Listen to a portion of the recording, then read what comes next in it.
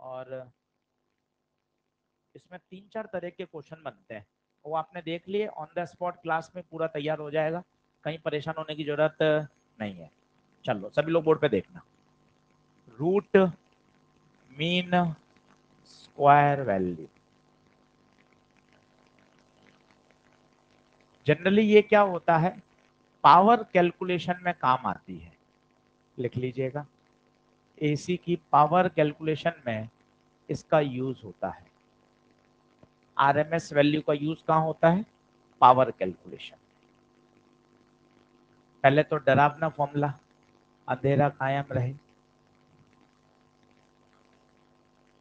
Zero से T, I square D T D T, whole power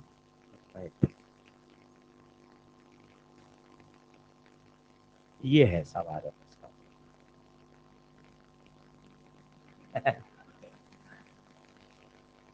diagram बना ली। Formula लिख लीजिए। ये तो साहब एनसीआरटी का फॉर्मूला है। अब इसको समझते हैं, क्या लिखा हुआ है, किस तरह के इस पे सवाल अभी तक आए हुए हैं और भविष्य में कैसे आएँगे, उन पे चर्चा करते हैं। आसान है टॉपिक कहीं किसी तरह की दिक्कत नहीं आएगी।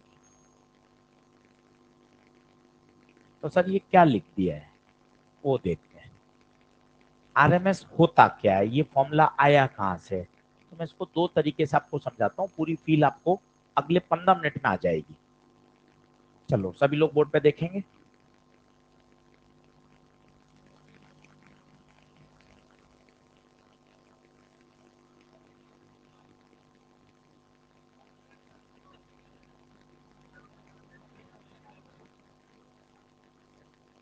चलो, हो गया? आ जाओ।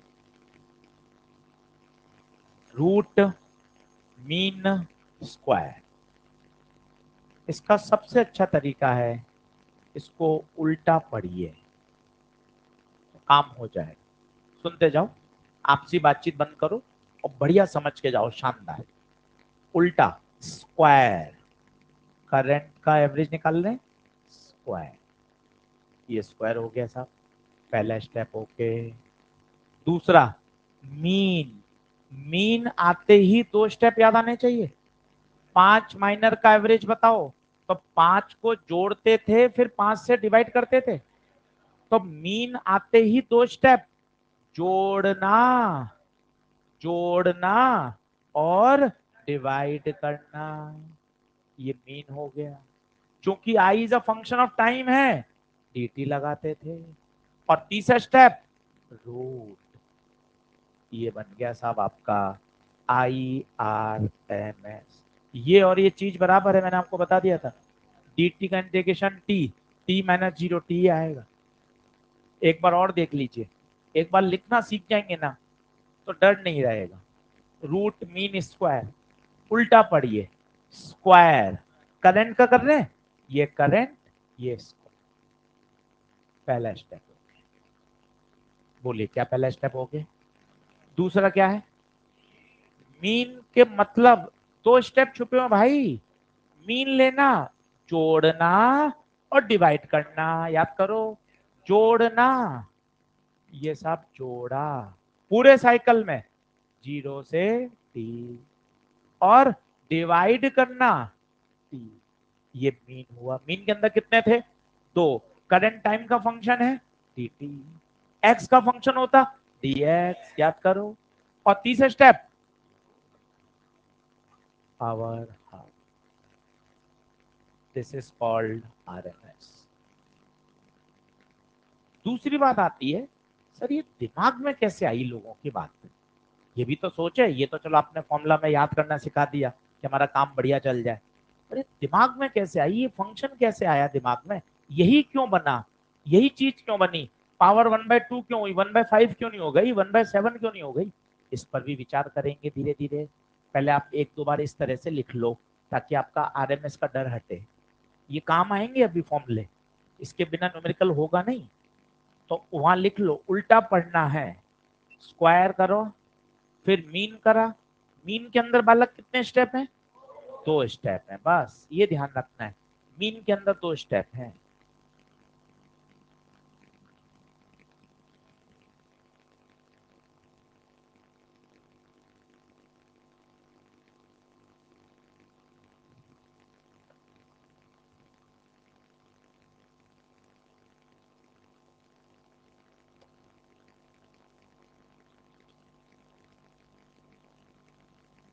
चलो आगे बढ़ो।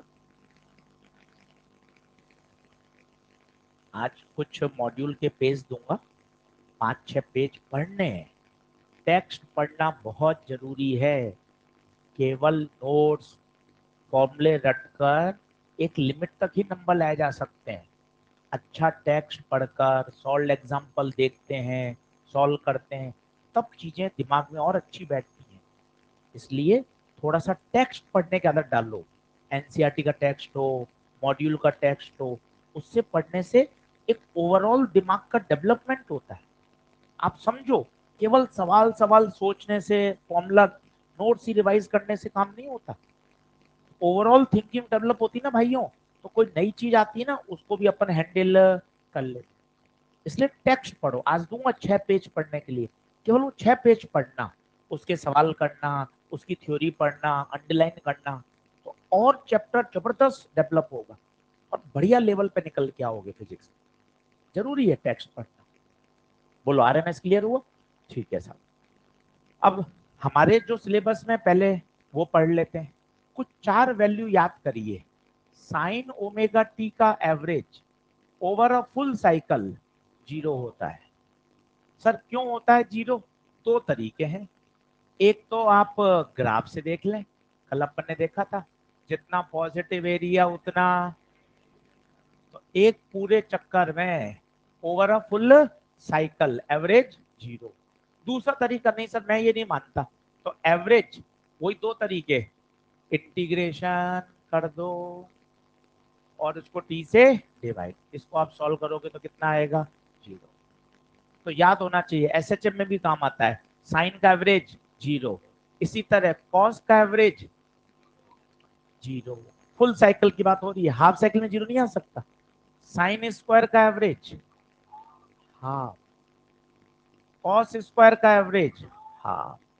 लिखना शुरू करिए।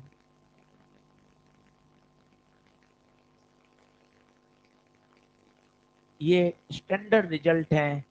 डिराइव भी किए जा सकते हैं मैथ से और ऑब्जेक्टिव परीक्षा में याद किए जाते हैं ताकि हम इनका उपयोग जल्दी कर सकें। समझे जा सकते हैं। साइन का पूरे चक्कर में एवरेज ज़ीरो स्क्वायर का ज़ीरो कैसे होगा? तुम वो सोचो। स्क्वायर जब कर दोगे तो नेगेटिव टर्म भी कहाँ चली जाएगी? ऊपर। तो स्क्वायर का तो ज़ीरो होने का कोई मतलब ही नहीं है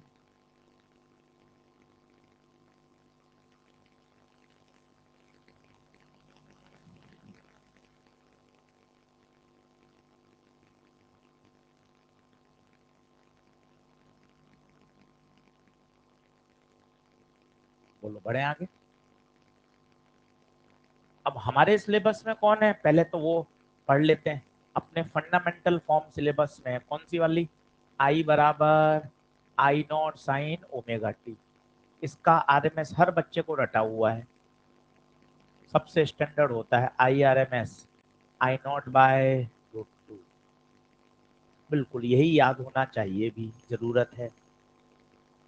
कैसे आया? पहले वो बताता हूँ। कब लागू होगा वो भी सीखिए।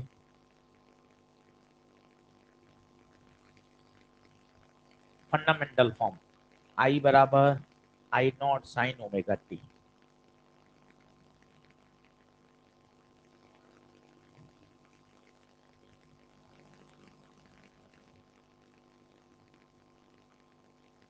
चलिए सर, अब इसका आईआरएमएस निकाल के बता दो। अभी आप देखना कितना जल्दी आएगा। स्लाइड चेंज कर रहा हूँ बराबर आ गए क्या?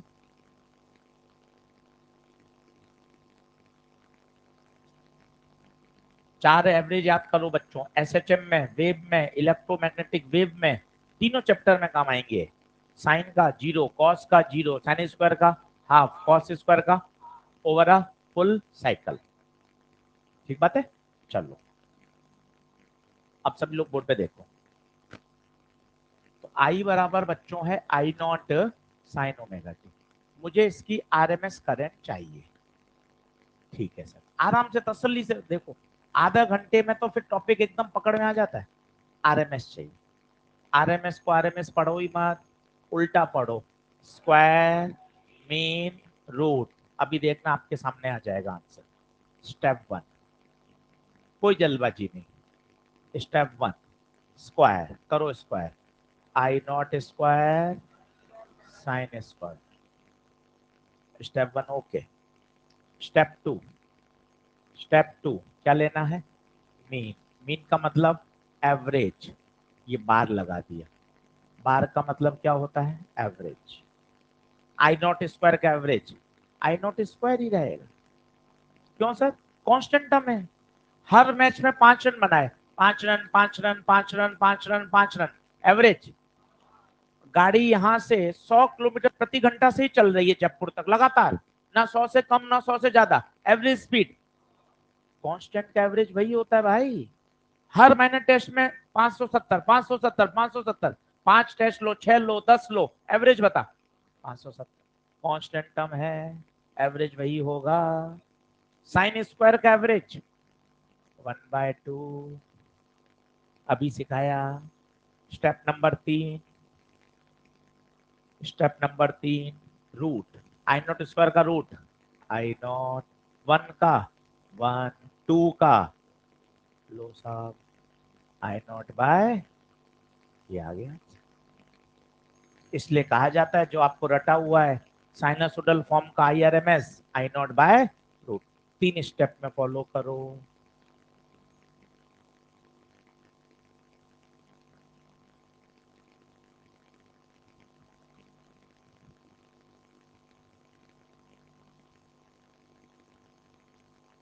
याद होना चाहिए। ये फंडामेंटल फॉर्म है। इसके बिना काम नहीं चलेगा। आरएमएस के साथ एक बात और है। अगर कुछ भी मेंशन नहीं होता तो आरएमएस वैल्यू होती है। लिखा होगा, एक बल्ब है। उस बल्ब के ऊपर लिखा हुआ है। ये बल्ब के ऊपर लिखा हुआ है 220 वोल्ट इसका मतलब ये कौन सा वोल्टेज है भाइयों? आरएमएस आरएमएस वोल्टेज है। अगर कुछ भी मेंशन नहीं है, कुछ भी मेंशन नहीं है तो उसे हमेशा आरएमएस वैल्यू रीड किया जाए।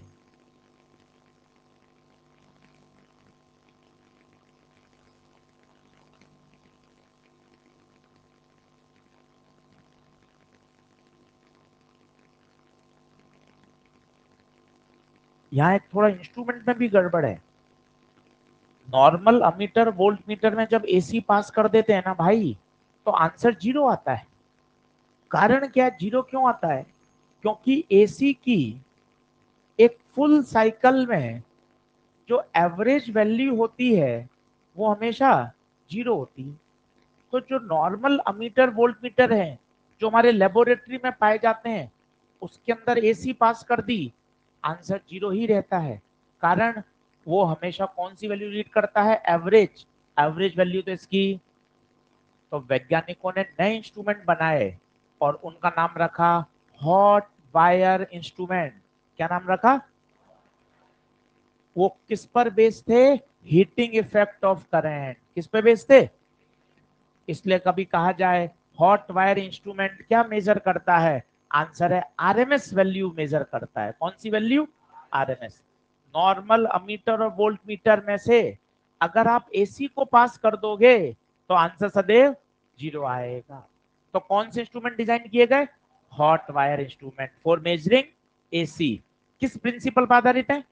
Joule heating effect of current note लगा के यहीं लिख दो। पहले बराबर आ जाओ सब लोग। बोर्ड का काम कर लो पूरा। बोर्ड का काम कर लो।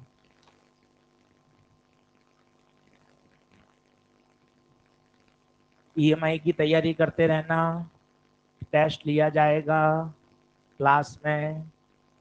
कभी भी कल, परसों किसी भी एक दिन। पूरा रजिस्टर पढ़ के आइएगा। एसी का सप्लीमेंट आने वाला है दो दिन में, तीन दिन में। उससे पहले ईएमआई का सप्लीमेंट पूरा कर लो।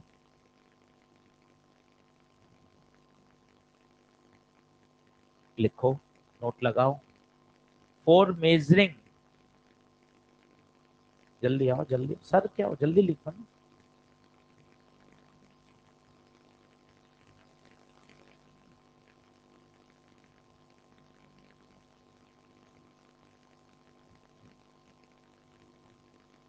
हाँ लिखें।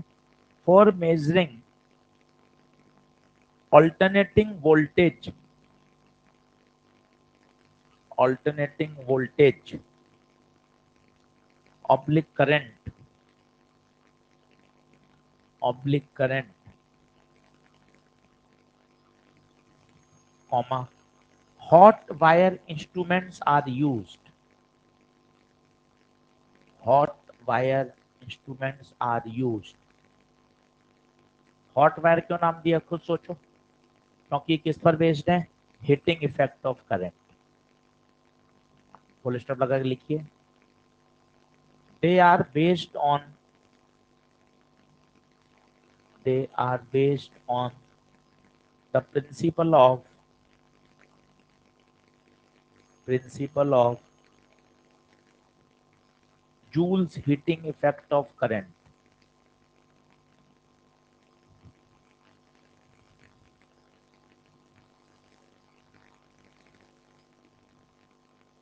दूसरा पॉइंट लिखो। When alternating current when alternating current is pass through the is pass through the DC voltmeter oblique meter DC volt meter oblique ammeter. रुक जाओ, पहले सेंटेंस पढ़ लो, क्या है अच्छे से। जब किसी एसी को पास कर रहे हैं किससे? डीसी वोल्ट मीटर जो अपने लेबोरेटरी में पड़े हुए हैं। The reading will be zero लिख लो कॉमा लगा के।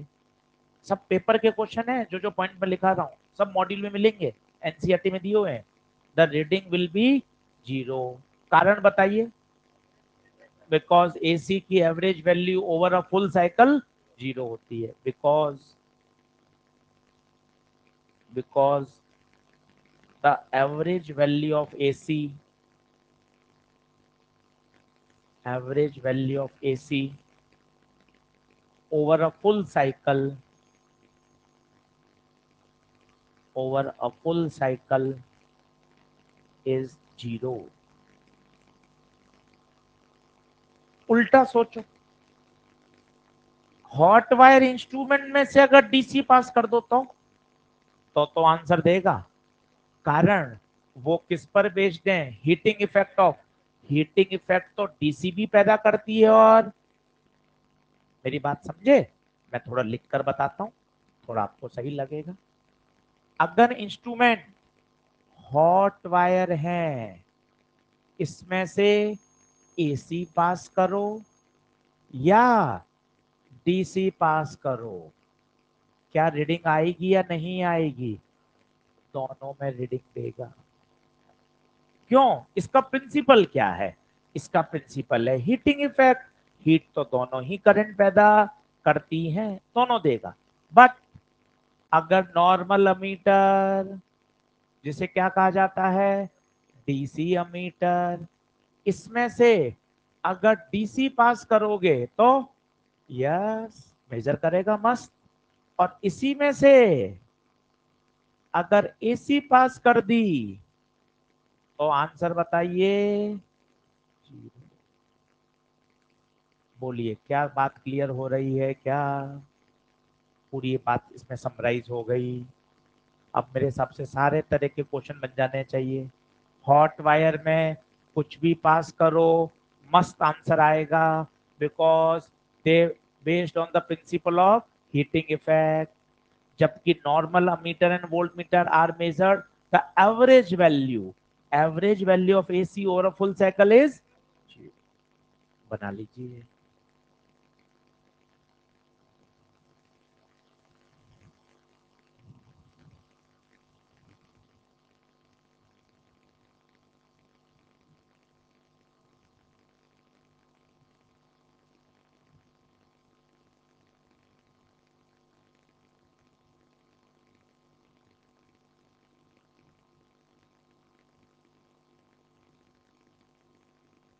ये ये क्या बना है? ये समझ में आई ये ये ये डीसी का सिंबल है ना? IT unidirectional current DC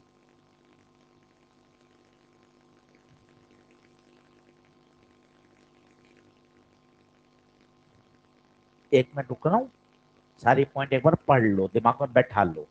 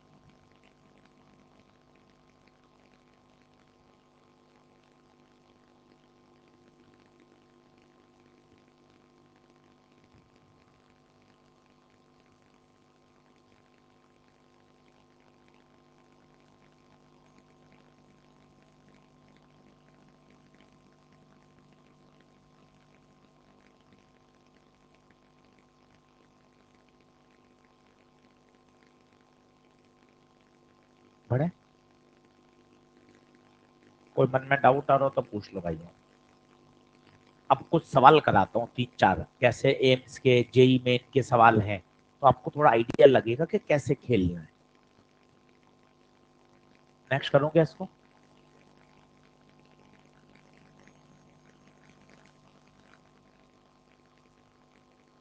module है किसी के पास? एसी का देखो। किसी के बैग में हो लो पास करो।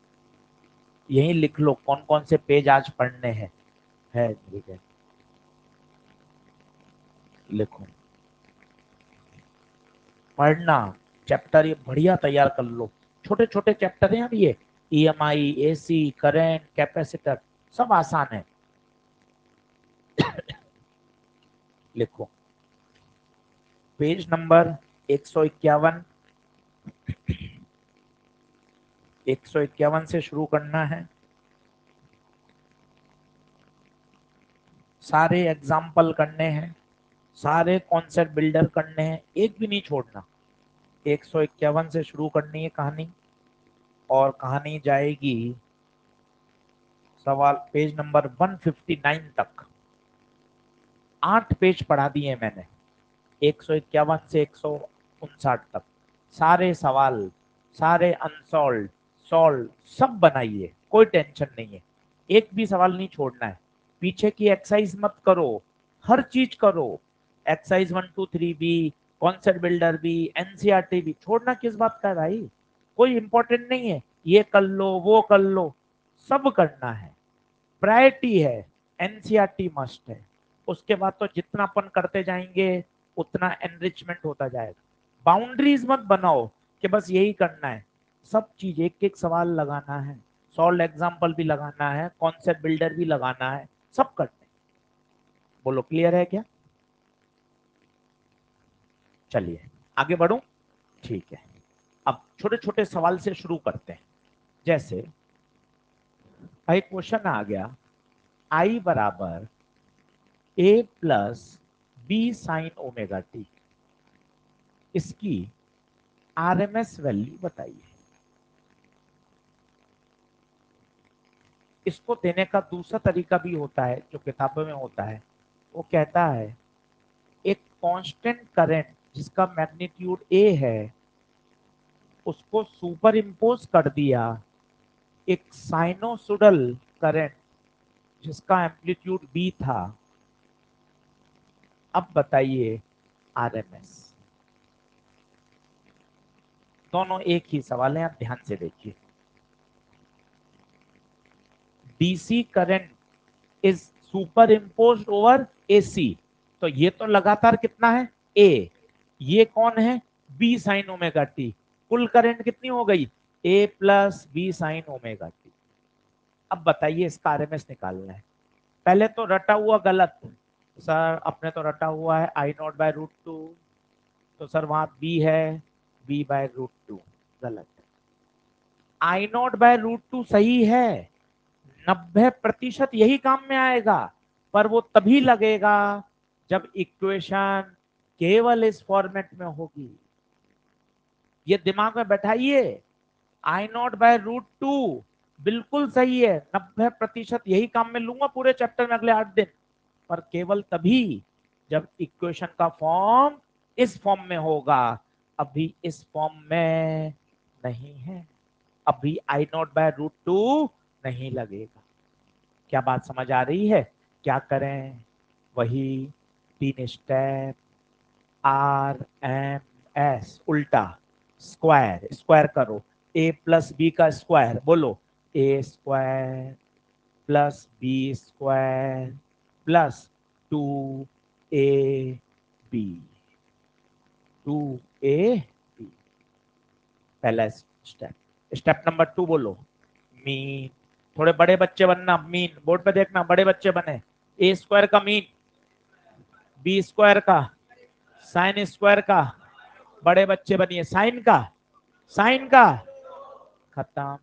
A square plus B square by two step number तीन।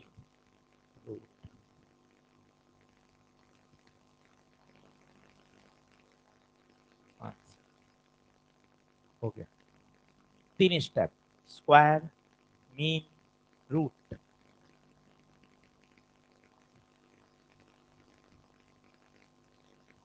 अलग अलग मत कर देना ए स्क्वायर का ए बी स्क्वायर का बी ऐड हो रहे हैं भाई ऐड हो रहे हैं, यही आंसर होगा। चाहो तो एलसीएम ले लेना बस। सॉल्व मत कर देना ज़बरदस्ती।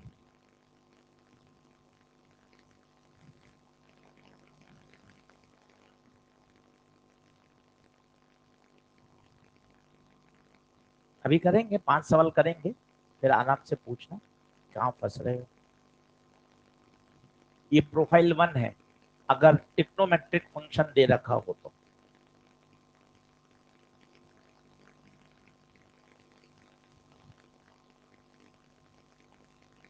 तेज बोल। अभी बताएँगे, अभी क्लास खत्म कहाँ हुई? घर कहाँ चला गया मैं? क्लास ही चल रही है। नया टॉपिक भी चालू नहीं हुआ। छुट्टी भी नहीं हुई।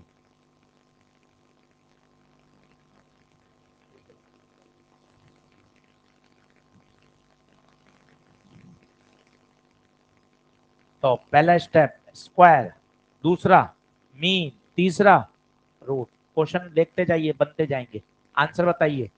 A square plus B square by two का रूट बोलिए, अगला कराऊं क्या?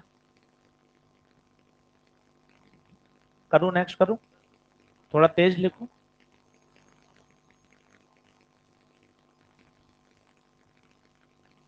आई बराबर, I one, sine omega T, plus I two, cos omega T.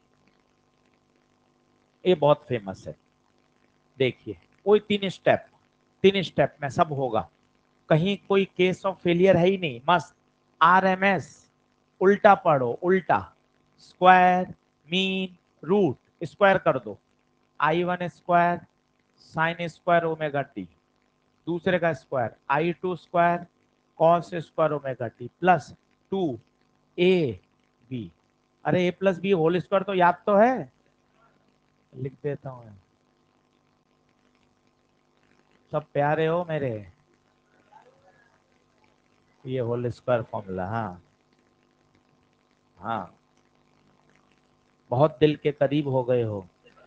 A, plus B का whole square A square plus B square plus two A B. अपनी धार तेज करते रहते हो तुम हाँ। A square plus B square plus two A B ये स्क्वायर हो गया। स्टेप नंबर दो मीन मीन। सोचिए मीन आई वन स्क्वायर का I one square sine square का one by two I two square cos square का one by two sign का या कॉस का? जी।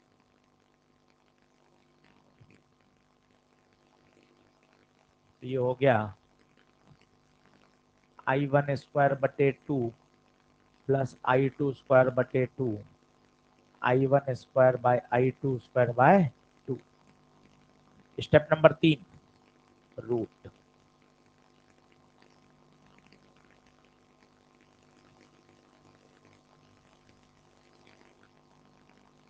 अलग अलग नहीं होगा, ध्यान देना, ऐसे नहीं अलग अलग कर दो। ऐसा ही चलेगा पूरा। हाँ दो को अलग कर सकते हो, चाहो तो बाहर। कितना हो जाएगा? टू सबसे पॉपुलर क्वेश्चन है, हर किताब में, हर मटेरियल में ये क्वेश्चन है। अब इसकी दूसरी अप्रोच बताता हूँ। ये तो है साहब ऑब्जेक्टिव तरीका। अब बेसिक क्या सोच होगी? यार ये दो करंट मिल रही हैं तो दो करंट ऐड होकर तो एक नई करंट बनाएँगी ना। जैसे उदाहरण के तौर पे तीन यहाँ से आई, चार यहाँ से आई तो मिलके सात हो गई। अब सोचो, इसमें कल की बात आएगी फेजर एडिशन क्या करेंगे? दिमाग लगा के बताओ।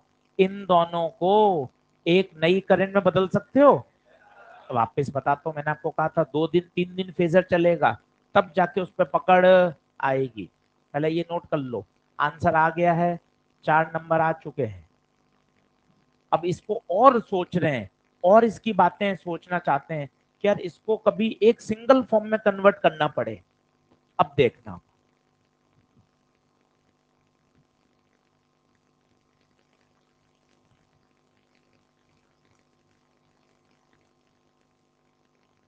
चलो। पेन पेंसिल छोड़ो, बड़ा इंटरेस्टिंग है चैप्टर अगर क्लास में ध्यान से सुन लोगे ना भाइयों, घर पर भी नहीं पढ़ना पड़ता। आई वन साइन सीधे क्वेश्चन कर सकते हैं। आई टू कॉस चलो सुनना। पहले ये फ़ोटो हमेशा याद रखो। इधर साइन इधर कॉस इधर इधर। ठीक है सब? सभी लोग जनता बोर्ड पे देखना। आई वन साइन कहा आएगा? क्या पूरा इधर आ जाएगा? पूरा इधर। I two cos. पूरा इधर। कितने डिग्री पर? 90 नेट कितना आएगा? 90 पर resultant A square plus B square plus two A B cos theta. तो I one square plus I two square resultant कहाँ आएगा? इनके बीच में। एंगल निकाल सकते हो? टेन थीटा दो तरीके हैं। या तो बी साइन थीटा अपॉन उससे करो, या अपन परपेंडिकुलर अपॉन बेस जो आपको अच्छा लगे। बोलो परपेंडिकुलर अपॉन बेस लगा दें? परपेंडिकुलर बेस आएगा। Tan inverse I two by अब सुनना, ये जब मैं लिख रहा हूँ फाइनल करंट लिखना सीखो आई यहाँ आएगा एम्पलीट्यूड एम्पलीट्यूड ये रहा, कितना?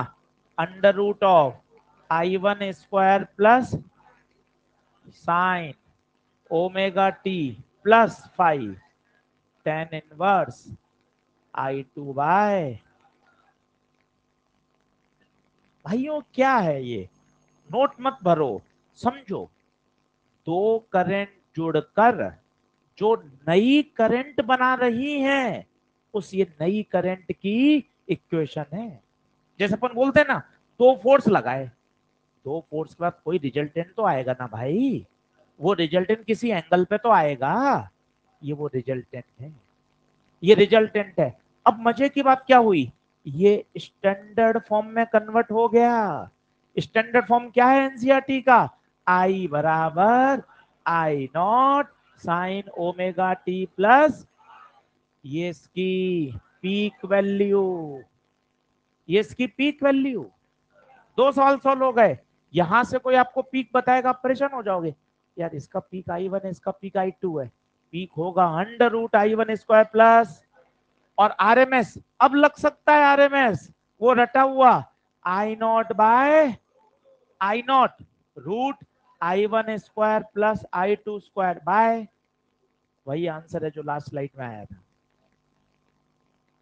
अप्रोच समझो कि हमें जो रटा हुआ है, हमें ये रटा हुआ है। आई बराबर I nought omega T this is the standard form of AC जब ऐसा होगा, तभी ये टर्म पीक कहलाएगी। और इस पीक को रूट टू से करोगे। बशर्ते आपकी इक्वेशन को इस फॉर्म में होना चाहिए। आपने क्या किया? इस नाटकबाजी का कंक्लूजन क्या है? आपने इन दोनों को जोड़कर एक इक्वेशन में कन्वर्ट कर लिया। नहीं आई बात समझ। ये इसकी पीक वैल्यू आ गई। कोई आपसे बोले पीक वैल्यू बताओ। तो पीक आ गई साहब? करिए। ये आर एन एस आ गई, वही उत्तर आ रहा है, देख लो। और क्वेश्चन करेंगे अभी? धीरे धीरे छोटा छोटा इंजेक्शन लेते चलो। अच्छा हाँ यार, ये बात भी समझ में आ गई। अच्छा यार, उसी सवाल के दो तरीके समझ में आ गए। क्योंकि दो करंट मिलकर एक करंट तो बनाएँगी। किसी वायर में तो एक रिजल्टेंट करंट ही तो फ्लो करेगी भाई।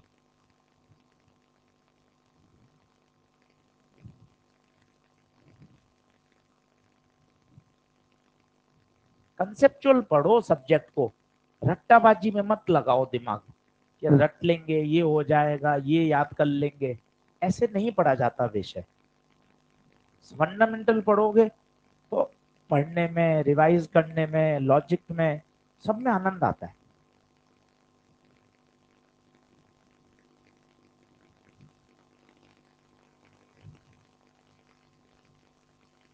अगला करूँ?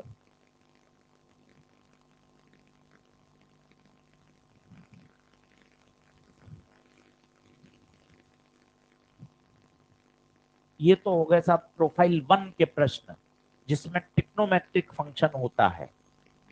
तो आज आपको क्या करना चाहिए? उल्टा, स्क्वायर, मीन, रूट।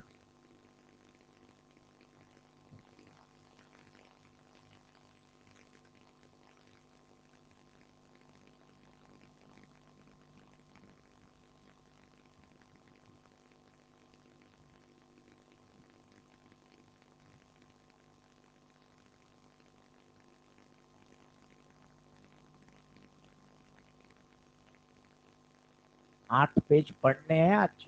एक घंटा, डेढ़ घंटा समय दीजिए। जो होमवर्क दिया जाए उसको पूरा करिए। छोटे छोटे टारगेट बनाइए कि अपन को जो होमवर्क दिया जा रहा है वो करते जाना है, बस। अपने आप चीज़ें धीरे धीरे आगे बढ़ती जाएँगी।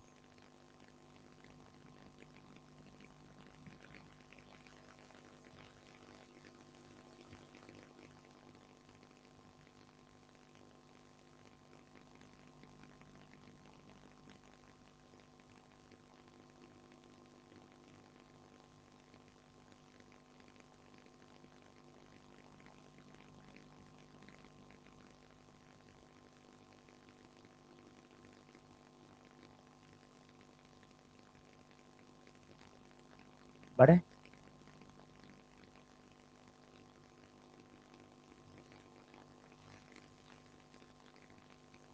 ये आंसर ये है कोने में? ये तो कौन सी है? पीक वैल्यू और ये है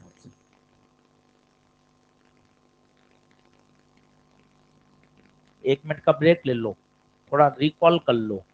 ये कहलाता है superposition of two sinusoidal function दो साइनोसुडल मिलकर एक नया साइनोसुडल जो बनाते हैं, वो ये तरीका है यूजिंग फेजर फेजर एक टूल है फेजर एक माध्यम है फेजर एक तरीका है उन चीज़ों को डील करने का जो साइनोसुडल तरीके से वेरी करती हैं, उसको आप फेजर से डील कर सकते हो।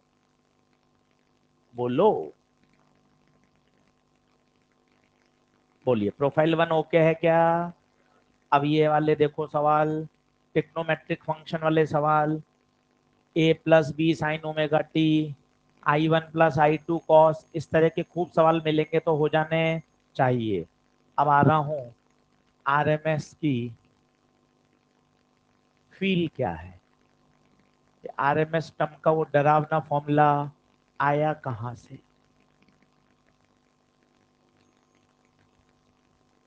राइट, डाल लीजिए आरएमएस की फील कहाँ से आरएमएस का कॉन्सेप्ट लेकर आए? क्या वैज्ञानिकों ने सोचा? क्या कंपैरिजन किया? वो मैं आपको समझाता हूँ। चलिए, सभी लोग बोर्ड पे देखें। ये है साहब रेजिस्टेंस ये ये कहलाता है एसी एसी सोर्स ये सिंबल है। डीसी का ये बैटरी बनती है। एसी वेरिएबल होता है साइनासोडल ये एसी का सोर्स है। तुम सब पढ़े हुए हो मतलब बारहवीं वाले बच्चों को बताना पड़ता है तुम तो क्या ये तो सब देखा हुआ है सर। चलिए तो बिल्कुल बिल्कुल सही है। तो रेजिस्टेंस है, ठीक है? यहाँ करंट फ्लो कर रही है। कौन सी करेगी करंट एसी या डीसी फ़ंक्शन ऑफ़ टाइम के साथ वेरी करेगी। अब मैं आपसे पूछूँ हीट डिसिपिटेड बताइए। हीट डिसिपिटेड बताइए। तो हीट दसवीं class I square R T नहीं लगेगा। छोटी छोटी बातें। आई स्क्वायर आर टी तब लगता है जब आई कांस्टेंट हो। छोटी छोटी बातें समझो। क्यू बराबर आई टी दसवीं कक्षा, बिल्कुल सही है। आई कांस्टेंट हो आई वेरिएबल हो आई डी टी लगता है। Heat I square R T तभी लगेगा जब आई तीन एम्पियर हो। पर अगर आई वेरिएबल हो I square R D T छोटी छोटी बातों को समझिए, ये फॉर्मूला तुरंत इसमें बन सकता है। चलो डब्ल्यू पी पढ़ लो, वो सर पढ़ा रहे हैं। कांस्टेंट फोर्स है। एफ़ डॉट एस वेरिएबल है। F dot D S flux constant है। Electric field E dot A variable है। ई डॉट डी ए इस तरह की फिजिक्स पढ़िए इंटर रिलेटेड तो मज़ा आता है। कह रहे हैं, सब जगह एक जैसा चलता है। भाई, ये बेसिक फॉर्मूला क्यूबर आई टी यहाँ से यहाँ तुरंत पहुँच सकते हो। आई कांस्टेंट है। आई बाहर ले लो। डी का इंडिकेशन क्यू बराबर आई टी पर बढ़िया तो याद करो। क्यू बराबर आई टी हीट बराबर I square R T W बराबर एफ़ डॉट एस ये तभी लग सकते हैं जब कांस्टेंट हो। वेरिएबल हो तो क्या करना पड़ता है? इंटीग्रेशन यहाँ खुद बताइए। आई स्क्वायर आर टी या इंटीग्रेशन क्यों? Current is a function of time AC current है. एसी का मतलब बाई डायरेक्शनल पीरियोडिक और तीसरा, अगर प्योर एसी है तो पॉजिटिव पीक और नेगेटिव पीक बराबर। तो करंट तो वेरिएबल हो गई ना। तो यहाँ क्या लगाएगा? Heat produce in AC integration of I square R D T zero से पी एक पूरे चक्कर बोलिए, क्या हीट आ गई एसी की? फिर लोगों ने क्या कहा? यार इसका कंपैरिजन किया डीसी से। क्या लगाई? बैटरी। कितनी करंट फ्लो कराई जाए? कितनी करंट फ्लो कराई जाए? ताकि वो उतनी ही हीट पैदा करे, जितनी एसी करती है। वापस परिभाषा सुनिए। कितनी कांस्टेंट करंट फ्लो कराई जाए? कांस्टेंट का मतलब हो गया डीसी कितनी कांस्टेंट करंट फ्लो कराई जाए ताकि वो वही वही हीट पैदा करे जो कौन कर रहा है? चलो, इसकी करंट इसकी हीट निकाल लो। मज़ा आएगा ध्यान देना। बोलो हीट बोलो। आई स्क्वायर इसमें लगा दू क्या? क्यों? कांस्टेंट है। और टी टाइम पीरियड है। तो कैपिटल टी कर देते हैं। पूरे टाइम यहाँ तक क्या कहानी समझ में आ रही है क्या? एक बार रेजिस्टेंस में एसी करंट फ्लो कराई। एक बार रेजिस्टेंस में डीसी करंट फ्लो कराई।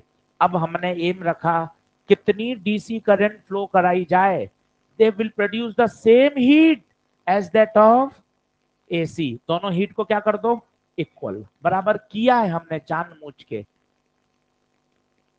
चलिए साहब हीट एसी बताइए। ज़ीरो से T I square R D T heat AC बताइए।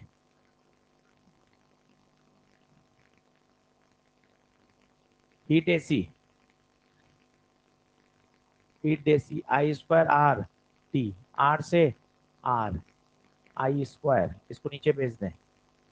I square D T upon T ये आई स्क्वायर आया है आई चाहिए।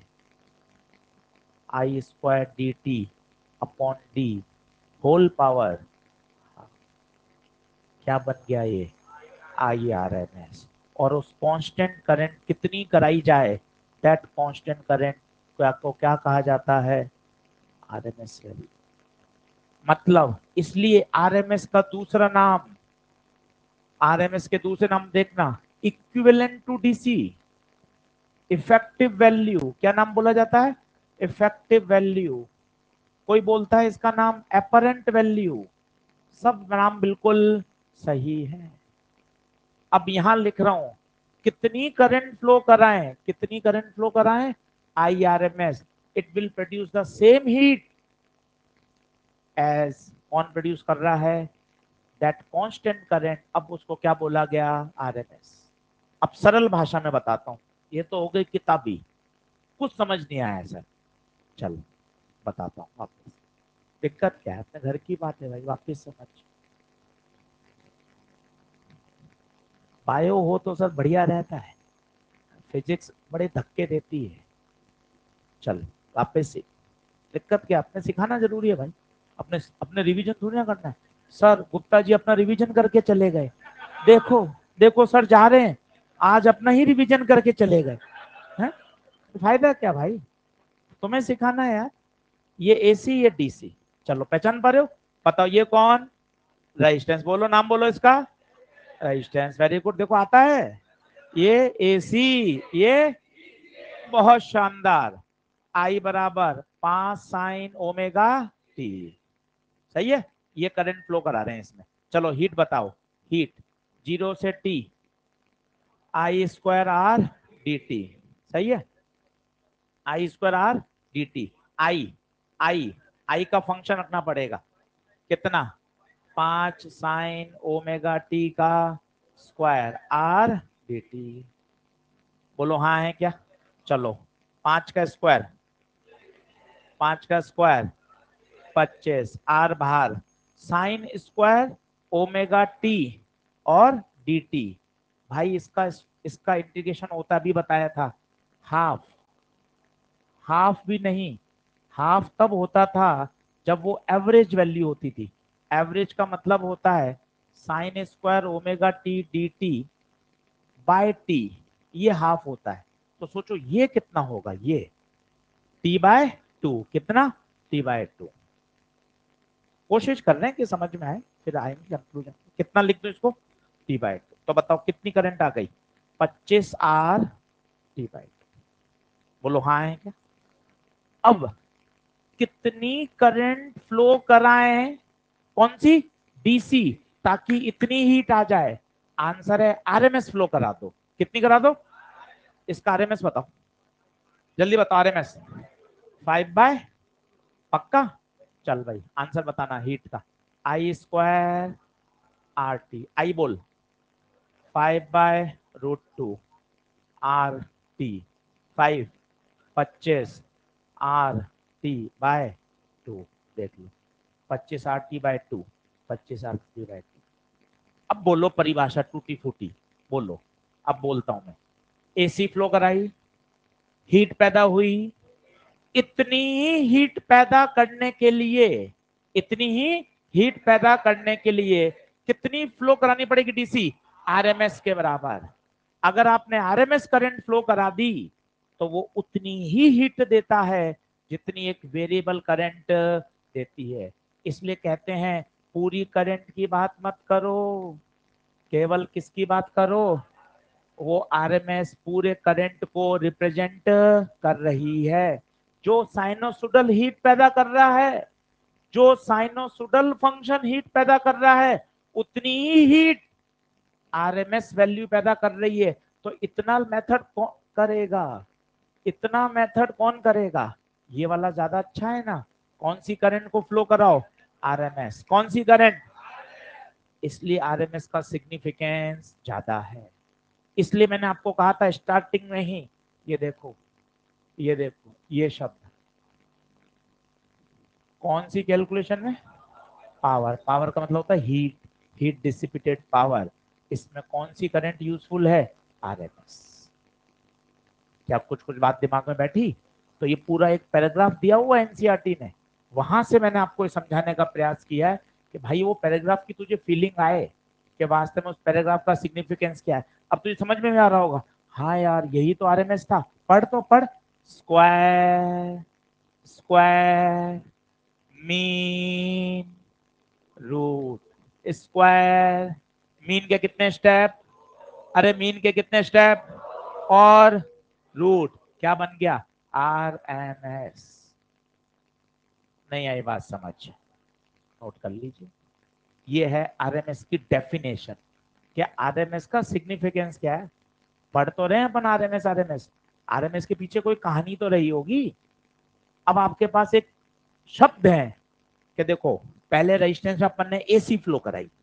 एसी तो थी वेरिएबल उसने हीट पैदा करी। उतनी ही हीट अपन को पैदा करनी है। तो एसी की कौन सी वैल्यू फ्लो करा दो? आरएमएस भेज दो। आरएमएस वही झंडे गाड़ देगी जो एसी ने झंडे गाड़े हैं। बात खत्म? घर जाके झंडे गाड़े गए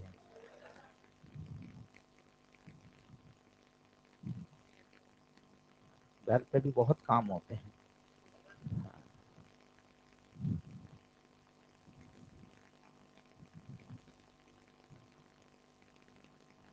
पहला क्वेश्चन लिखें। जल्दी आओ।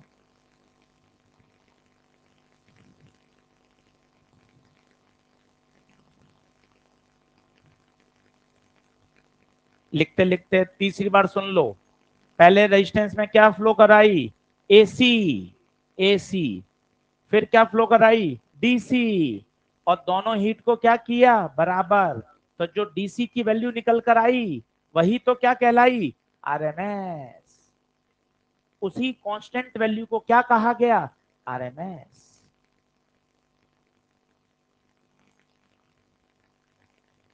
कोशिश करो लिखने के बाद कि अच्छा पहले मैंने रेजिस्टेंस में एक साइनोसोडल करंट फ्लो कराई वेरिएबल करंट उसने हीट पैदा करी होगी। यार, वो माथा पच्ची है। उस साइनोसोडल को हटाकर क्या फ्लो करा दो? आरएमएस। वो आरएमएस उतनी ही करंट उतनी ही हीट दे रहा है। जितनी वो वेरिएबल करंट दे रही है।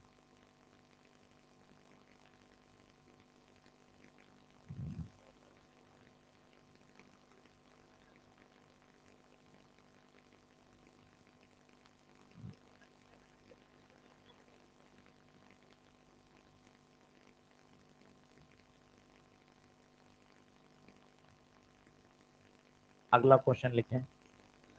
जल्दी आओ फटाफट टाइम मत लगाओ फटाफट।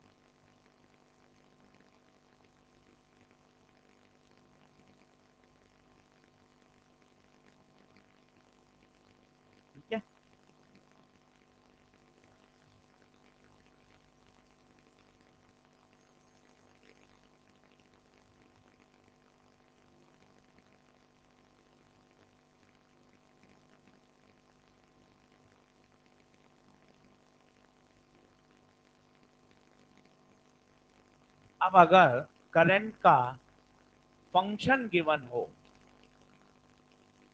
फ़ंक्शन गिवन हो, जैसे करंट का फ़ंक्शन दे दिया फोर रूट टी और आपको कहा गया find RMS value in the interval T बराबर ज़ीरो से टी बराबर दो सेकेंड प्रोफ़ाइल टू के प्रश्न प्रोफ़ाइल वन के कौन से थे आशीष सर? वो साइन कॉस वाले, trigonometric function. Sine cos sine cos sine cos. अब आ गया गणित के एल्जेब्रिक फ़ंक्शन तो ठीक है सर आरएमएस पूछा है। मैं डरूँगा थोड़ी ना sir. RMS I nought by root two RMS I nought by root two sir I R M S I nought by अरे लाला फॉर्मूला तो सही है, पर I nought by root two तब लगता है जब साइनोसुडल हो ये तो याद करके चला जा, सवाल बने नहीं बने, वो अलग बात है। पर ये तो पता चले I nought by root two कब लगता है? साइनोसुडल यहाँ तो साइनोसुडल ये नहीं लगेगा। पहली बात, ये मत लगाना, मर जाओगे। I nought by root two केवल साइनोसुडल के लिए बना हुआ है। इसमें नहीं लगेगा। इसमें तो वो डरावना फॉर्मूला ही लगाना पड़ेगा। कैसे? याद करना। स्क्वायर स्क्वायर मीन मीन के अंदर दो स्टेप टी वन से T two upon time interval और का रूट इसलिए याद करना ज़रूरी है। और पूरा याद करोगे तो डर जाओगे। तरीका वही स्क्वायर स्क्वायर के बाद मीन मीन के बाद रूट बस अब आई पुट कर दो। अब ये गणित का सवाल बन जाएगा। अब आई पुट कर दो। गणित का सवाल बन जाएगा। बोलो इंटरवल कहाँ से कहाँ? ज़ीरो से टू आई कितना? फोर रूट टी का square upon delta T time interval T two minus T अब ये गणित का सवाल बन गया अंतर समझो बेटा, राजा। अब फॉर्मूला लगाना पड़ेगा। इसके बिना काम नहीं होगा। फॉर्मूला याद करने का तरीका तो मैं सिखा दिया तीन बार। स्क्वायर फिर मीन मीन के अंदर कितने स्टेप दो। और बट्टे में पावर हाफ़ फॉर्मूला लगा के छोड़ दो, आगे तो मैथ्स है। फॉर्मूला लगा के छोड़ दो। On substitute the value we get आगे इंटीग्रेशन है राजा।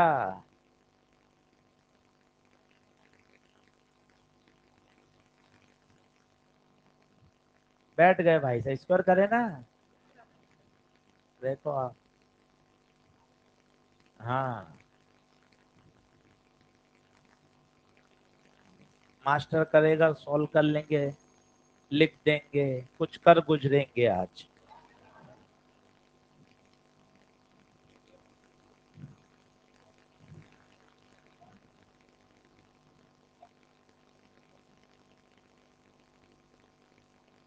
चलो देखो, तुम्हारी बहुत याद आ रही थी मुझे।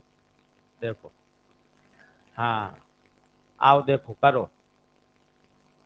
ज़ीरो से दो, चार का स्क्वायर सोलह। रूट टी का टी डी टी बटे दो होल पावर हाफ़ अब अच्छे से करो। सोलह बाहर ले लू क्या? सोलह बाहर टी का integration T square by two दो ज़ीरो बट्टे में दो होल पावर हाफ़ जागते रहो। अब ये सोलह और दो दो, चार।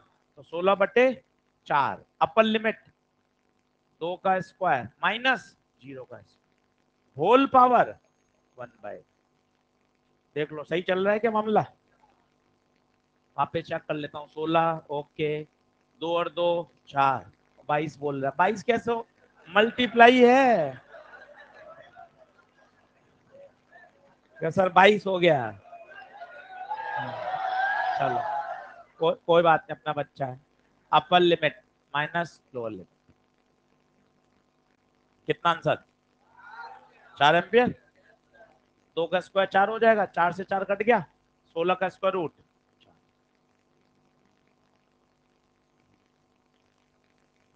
ये profile number to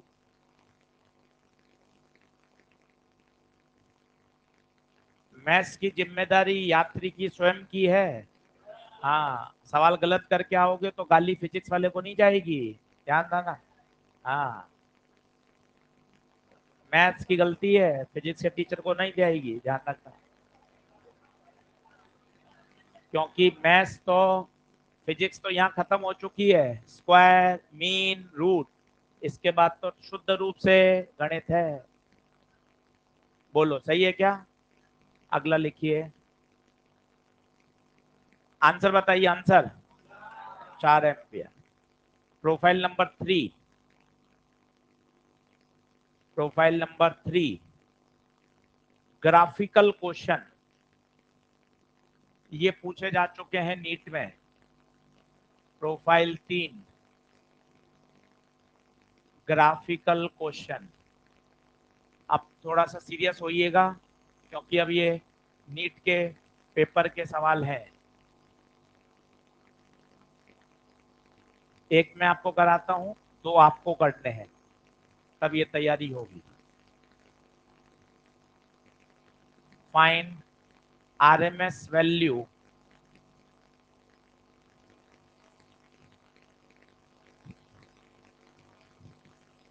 RMS value in full cycle.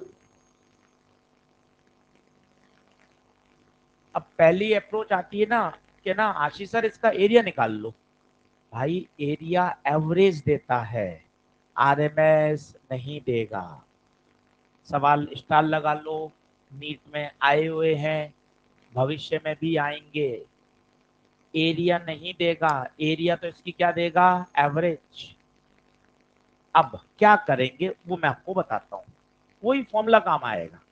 Formula क्या है? पहले बताओ, ये करंट है या वोल्टेज वोल्टेज सभी फॉर्मूला बनाओ। दस बार लिखना। आरएमएस, उल्टा बोलो, स्क्वायर। स्क्वायर। निगाहें बोर्ड पर रखो, सीरियस हो, स्क्वायर। मीन। ज़ीरो से T, upon T. Whole power. ये है वर्किंग फॉर्मूला। आई की जगह बी कर दिया क्योंकि वोल्टेज था। अब निगाहें बोर्ड पे रखना। ये फ़ंक्शन ज़ीरो से टी बाई टू तक वी नॉट है। तो मैं इसको लिख रहा हूँ। देखना। ज़ीरो से T by two V V नहीं है। वी नॉट है।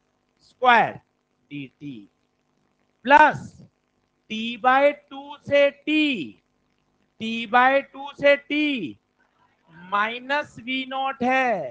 का square D T whole T whole ये देखिए। क्या बात क्लियर है क्या? ये फ़ंक्शन लगाना आना चाहिए। एक बार और सिखाता हूँ। दिखने में टफ है। इंटीग्रेशन इसका बहुत आसान है। क्यों? देखना आप। एक मिनट में आ जाएगा। वी नोट स्क्वायर बाहर। डी टी का integration T T by two minus V naught square का स्क्वायर बन के वी नोट स्क्वायर बाहर। डी टी का? टी अपॉन टी बहुत जल्दी आंसर आएगा। सिमेट्रिक है। और बोलना V naught square upper minus lower T by two minus zero V naught square T minus T by two upon T whole half V naught square T by two plus V naught square T by two same है same है V naught square T upon T T से T R M S जो उसकी peak value है, वही answer है। V naught by root two नहीं लगेगा। V naught by root two नहीं लगेगा। क्यों नहीं लगेगा? V naught by root two केवल साइनोसोडल के लिए है। अभी मत करो कॉपी अभी मत करो। थोड़ा कॉन्फिडेंस आने दो। अभी मत करो। चलो, वापस। मन में कोई सवाल आ रहा हो? पूछना। ये टी बाय फोर तक। और फिर ज़ीरो। ये नीट का सवाल है। देखना। आपसे पूछा है फाइन आरएमएस अब सीरियस हो जाइए, परीक्षा के प्रश्न है। सीरियस हो जाइए। पहली बात, पहली approach sir RMS V naught by root two. बिल्कुल नब्बे प्रतिशत यही लगता है, पर वो साइनोसोडल के लिए है। ये साइनोसोडल फ़ंक्शन पहला वो क्रॉस लगा तो बोलो हाँ है। अब आरएमएस को कैसे भरना है? डर हटाओ। पहले फॉर्मूला बनाओ। स्क्वायर स्क्वायर मीन दो स्टेप ज़ीरो से टी अपॉन टी फिर रूट ये बन गया अपना ओरिजिनल फॉर्मूला कोई कॉपी नहीं है ओरिजिनल है। ये ओरिजिनल बोलो, सही है क्या? अब इसको लगाना कितना आसान होगा देखना। एग्ज़ाम ने कितना अच्छा दिया। ज़ीरो से टी बाय फोर तक कितना? वी नॉट स्क्वायर ये रहा फॉर्मूला स्क्वायर डी टी मज़े आएँगे? टी बाय फोर से टी तक. ज़ीरो फ़ंक्शन ज़ीरो हो गया. डिवाइडेड बाय होल टी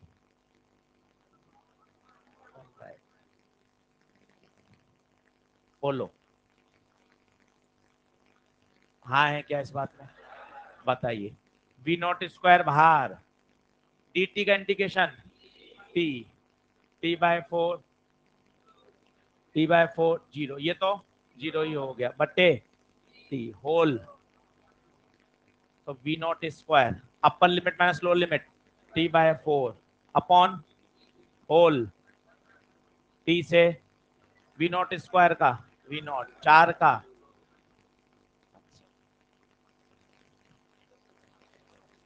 नहीं आई बात समझ। पक्का? अभी नहीं अभी नहीं। आ, आ, आ। मैं जा रहा हूँ।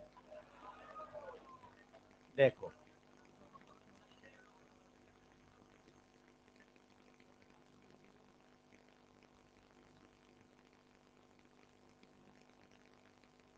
अब दिक्कत आएगी। रुक तो जाओ।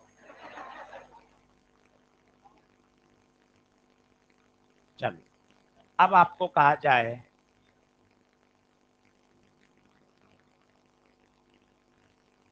चलो, अब सुन लो। अब मज़ाक नहीं, बंद करो। ये जेई मेन का क्वेश्चन है। इसने आरएमएस पूछा है। ओवर अ फुल साइड ठीक है सर अप्रोच समझते हैं, उसको पकड़ते हैं। सबसे पहले आरएमएस चमक गया। इसका मतलब ऑल्टरनेटिंग करंट में पहुँच गए। आरएमएस बोले तो I naught by root two sinusoidal के लिए लागू होता है। इतना तो बोल के निकल जाओगे आज घर। I naught by root two केवल साइनोसुडल सवाल होगा जो देखा जाएगा साइनोसुडल के लिए ही I naught by root two लगेगा। इसके लिए नहीं लगेगा। तो इसके लिए फॉर्मूला बनाता हूँ। स्क्वायर। राजा, स्क्वायर। मीन। मीन में कितने स्टेप? दो। होल। Power half. ये क्या बन गया? आर। अब कहा फंसोगे? फ़ंक्शन पिछली बार क्या थे? ज़ीरो से टी बाय फोर तक। वी नॉट थे। तुम कूद पड़े। धमाधम वी नॉट स्क्वायर। पिछली बार भी फ़ंक्शन क्या थे? कांस्टेंट था।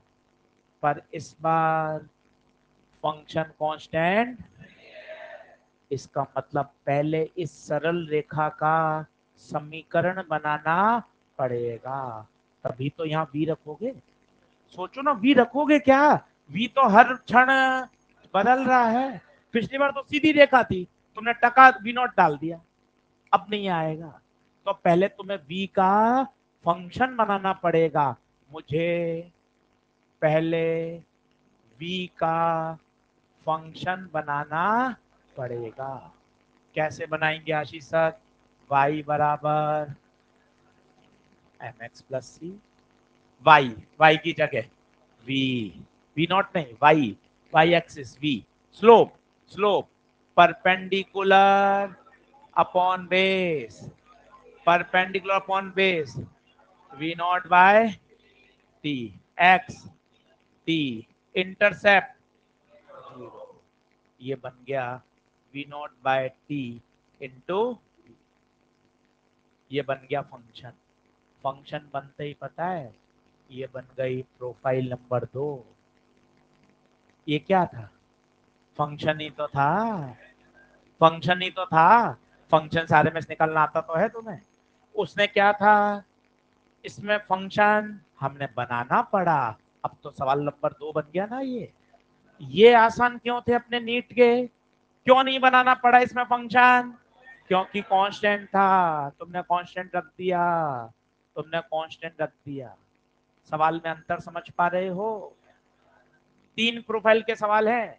बाज़ार में जितनी किताबें उपलब्ध हैं फिजिक्स की, तीन तरह के सवाल देता है वो आरएमएस के। इसके बाहर सवाल उपलब्ध नहीं है मार्केट में। प्रोफ़ाइल वन, फ़ंक्शन वाले, साइनोसोडल, आई दे रखा हो, तीन प्लस चार, कॉस ओमेगा टी, दो का function, I one sine, plus I two cos, एक स्टैंडर्ड फॉर्म, आई बराबर, आई नॉट साइन। ये तो कौन से कहलाते हैं बताओ? साइनोसुडल। स्क्वायर करो, मीन करो, रूट। प्रोफ़ाइल टू बताओ। प्रोफ़ाइल टू बताओ। जब करेंट फ़ंक्शन ऑफ़ टाइम हो और प्रोफ़ाइल तीन ग्राफ इसके बाहर कोई प्रोफ़ाइल नहीं है बच्चों।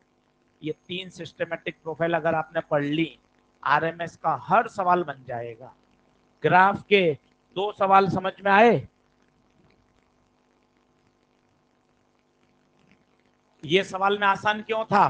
कांस्टेंट ये कांस्टेंट इसमें क्या करें भाई? इसमें तो लगातार v की वैल्यू तो पहले मुझे v का फ़ंक्शन बनाना पड़ा। अब बताओ, ये कौन सी प्रोफ़ाइल में बदल गया? प्रोफ़ाइल नंबर टू में बन गया। नहीं आई बात समझ। बताओ, कहाँ से लिखना है? ये ये हो गया। ये चलो जल्दी आओ, फिर तीन क्वेश्चन और कराने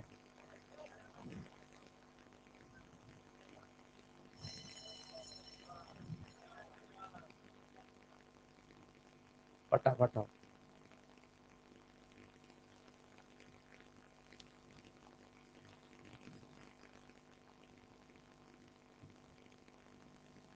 अच्छे से, तरीके से आरएमएस को समझ लिए। आरएमएस का कॉन्सेप्ट आरएमएस का डेरिवेशन फील हर तरह का क्वेश्चन बहुत ऑर्गेनाइज तरीके से लिखा हुआ है। नोट्स ही है भाई। नोट्स को जीरोक्स करा करा के चीज़ें बन गई। नोट्स ही पढ़े बढ़िया तरीके से। और उसके बाद फिर एनसीईआरटी e और किताब। ये ऑर्गेनाइज मैनर में लिखे हुए हैं। पढ़कर समझ में आते हैं।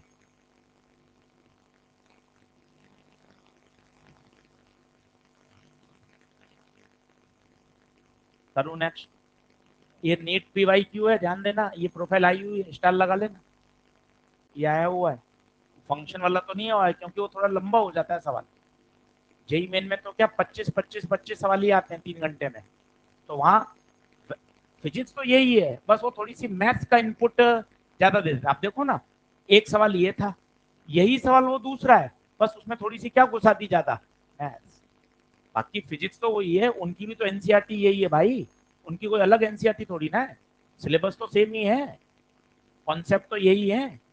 बस अपने यहाँ उसको थोड़ा सरल वर्जन में कर देते हैं। गणित का इन्वॉल्वमेंट कम, क्योंकि अपने सवालों की संख्या ज़्यादा है।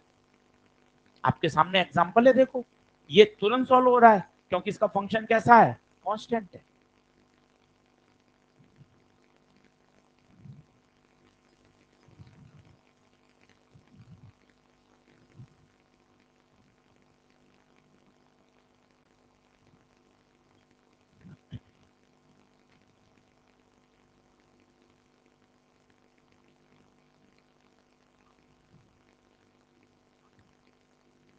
सही है आप देखो, जो पीक वैल्यू है, वही आरएमएस है।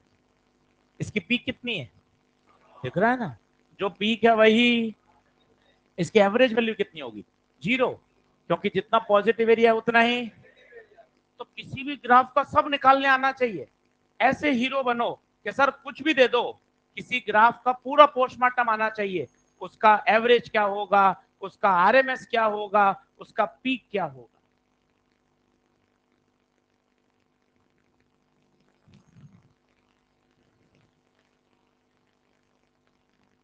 ये फॉर्मूले की समझ, सात आठ बार तो मैंने ही लिख दिया आज आज में। इस फॉर्मूले की समझ, उल्टा पढ़िए। Square, mean, root.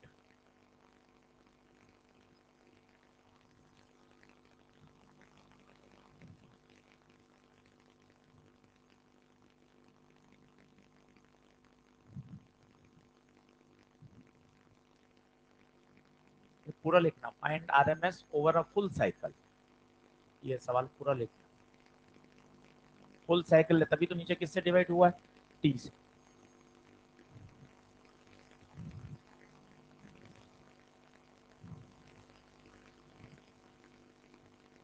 पढ़ लेना घर जाकर। तभी काम होगा। अभी समय पढ़ने का है। थोड़ा बातों को समझिए। हम पूरा इनपुट लगा रहे हैं।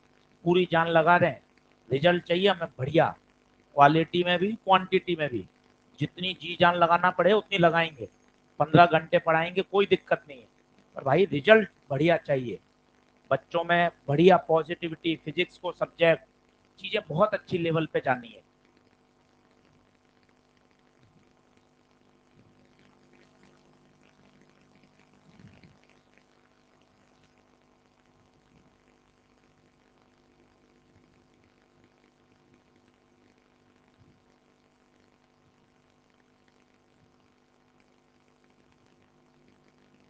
करो। ये ज़ीरो क्यों हो गया? टी बाय फोर से टी कोई फ़ंक्शन ही नहीं है। स्पेशल लगा लेना दोनों सवाल पे। दोनों परीक्षा में आए हुए हैं। तीनों प्रोफ़ाइल दिमाग में सेट होनी चाहिए। साइनोसुडल की प्रोफ़ाइल को करने का तरीका अलग है। स्क्वायर करो मीन करो रूट करो। यहाँ स्क्वायर मीन रूट नहीं होगा। ग्राफ को करने का तरीका अलग है।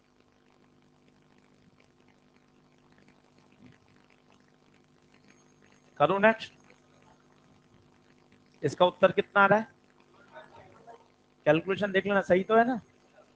नोट स्क्वायर बार डी टी का टी टी बाय फोर ठीक है? चलने दो चलो।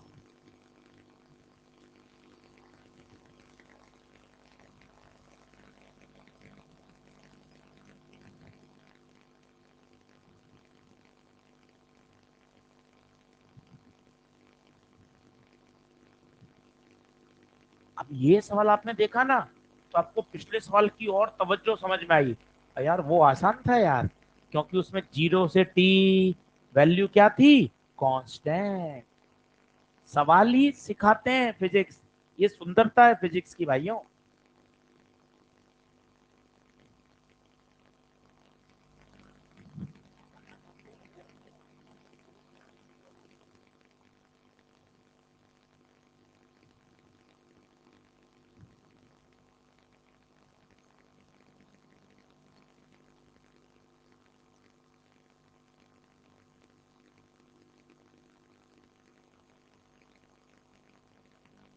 ये आंसर नहीं है।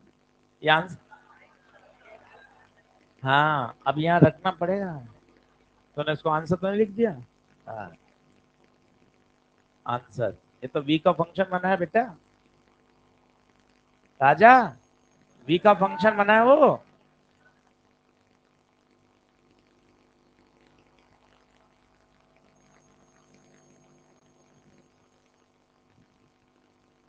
मैं सॉल्व करूँगा, पूरा मुझे भरोसा है तुम पे पूरा। हाँ। इसलिए मैं ही सॉल्व करूँगा, नहीं तो भरोसा टूट जाएगा मेरा तेरे मार्ग पर।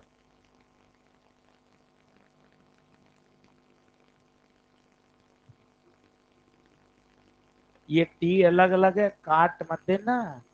हाँ। ऊपर छोटा टी, बड़ा टी है वो। हाँ।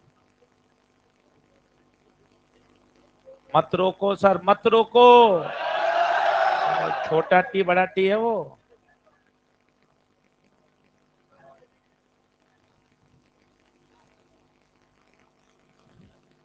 चलो, बताओ, कितना आ रहा answer V naught by root three देख लेते हैं।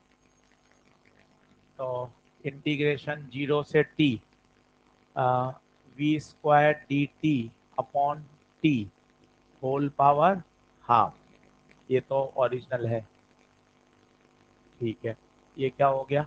वी आर एम एस ठीक है। अब ज़ीरो से टी वी स्क्वायर इसका स्क्वायर कर दो। बोलो।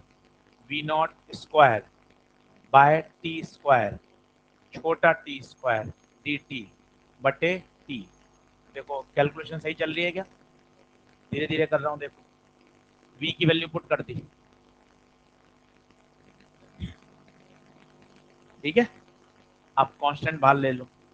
वी नॉट स्क्वायर बाहर टी स्क्वायर बाहर नीचे, अंदर बचेगा T square D T zero से टी होल टी देख लो एक एक स्टेप बढ़ाते जा रहे हैं। देख लो। सवाल लंबा है, नीट में नहीं आया है बिल्कुल मैं मानता हूँ, संभावना भी कम है, बिल्कुल मान रहा हूँ, पर ये इसलिए कराया जाता है ताकि दिमाग की एबिलिटी बढ़े। कई चीज़ें इसलिए बताई जाती हैं ताकि आपकी सोच बढ़े कि कल को कोई नया सवाल आ जाए तो हम उसे देखकर घबराएँ नहीं। इसलिए पढ़ाया जाता है। बाकी हमें भी पता है कि यार इसके आने की समन्वय लिस्ट है। जेई मेन का सवाल है। कठिन नहीं है, लेंदी है। फिजिक्स तो वही है जो आपने पिछले आधे घंटे में देखी। यही सवाल नीट का था, देखो। एक मिनट के अंदर सॉल्व हो गया। भाई ने फ़ंक्शन आधा तो ज़ीरो दे दिया, क्योंकि उसको पता है ना, यार, एक मिनट में करवाना है बच्चे से। फिजिक्स वही है। चलिए, कौन बाहर? वी नॉट ये टी स्क्वायर और T T cube upper limit T square का इंटीग्रेशन टी क्यूब बाय देखो तो सही है क्या मामला? सही है? ठीक है। अब अपर माइनस लोअर कर दो।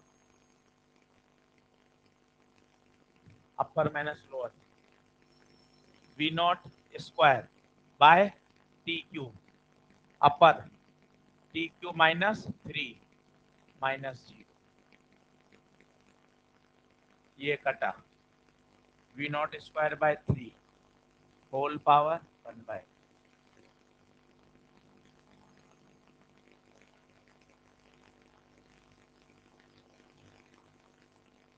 सही है? इसी में एक बी पार्ट लिखो। In the above question find average value in full cycle भाई एवरेज वैल्यू आ जाए तो काम चकाचक है। एवरेज में फ़ंक्शन की ज़रूरत ही नहीं है। एवरेज में तो क्या निकालते हैं? एरिया याद करो। बी पार्ट लिख लो। ये अपने एम्स में आया हुआ है। सॉल्व एग्जांपल है अपने मॉड्यूल का। एवरेज एवरेज में तो सवाल छोटा हो जाएगा। क्योंकि एवरेज आते ही क्या चमकना चाहिए? Area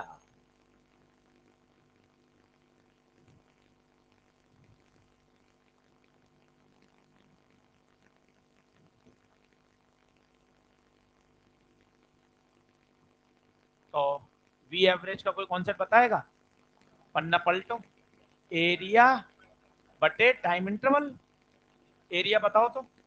Half base into height base करो कहा गया? हटा दिए ग्राफ तो बेस बताओ तो बेस टी हाइट सही है? बटे टी एवरेज कितना आएगा?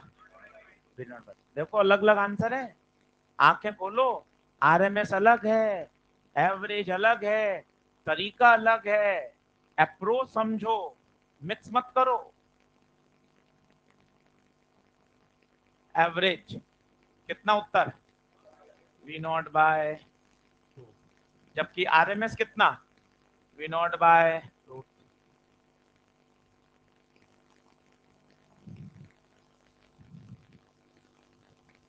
बोलो।